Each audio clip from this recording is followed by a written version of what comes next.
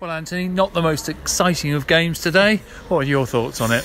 Yeah, I don't think it was the most exciting of games. However, in this league, when you come up to places up north that, are quite tough, and I thought that we were still the better team, even though it wasn't exciting. Um, we probably could have created more clear cut chances, but having said that, in the last three games, we conceded in the league a few goals, and to the fact to be able to keep a clean sheet and keep it tight, and again, the keeper not to have much to do, we were pleased with. Um, felt like we were the team who were pushing towards the end, although, as you say, we didn't probably work their keeper enough, we will we'll still take the point, and it's a clean sheet.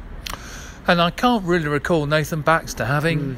even a shot to save. Yeah, well, I mean, the thing is, in the last um, three games in the league against Bromley, Dover, um, and Guiseley, he hasn't had that much work to do. However, we'd been conceding goals. So the fact that he didn't have much work to do again, I think, is a positive and also that we kept that clean sheet adds to that. I mean, we, we can't keep saying it every week that he didn't have a lot to do, but then we conceded goals. So I was really pleased with the defence and how we defended today. Not just the back four, but I think the protection in front was good. With Joey Jones, Kane Ferdinand coming back in too, and, and, and the whole team really worked hard for that point. Like you say, not the most exciting of games. I, I can imagine that for the fans. However, they were they were great supporting us today, and they could see the effort and endeavour of the players to try and listen. We were trying to win the game today, but but credit to them for, for sticking by us. And you started both the first half and the second half yeah. quite brightly, but you just couldn't really find a way to open them up.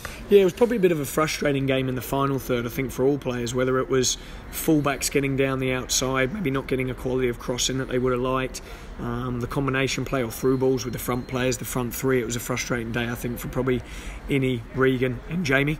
Um, and yeah, we just, just couldn't quite get that opening and work the keeper enough. I think on another day maybe we might have been able to create a, a, few more chances. Although I felt like we were pushing at the end, and and Regan got in once, and Joe Ward got in once, and probably with a little bit more quality and composure in the final third, we, we could have opened them up.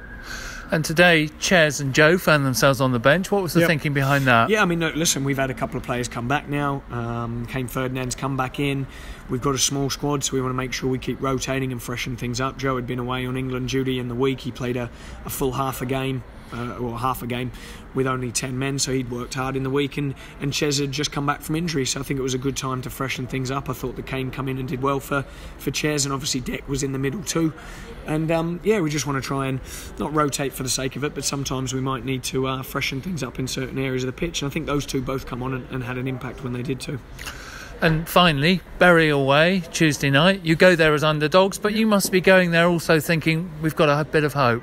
Yeah, I mean, I think being the underdog sometimes suits us going into the games, and we, we had a great game against them that we drew um, on the on the Sunday, and we're all looking forward to going there for that game. The, the old cliche of the pressure's on them. It really is. They they should be beating us and beating us really well. So, yeah, there'll be nothing for us to lose, and we'll go there and be positive and, and have a go and try and win the game. Lovely. Thank you very much for your time. Safe journey back.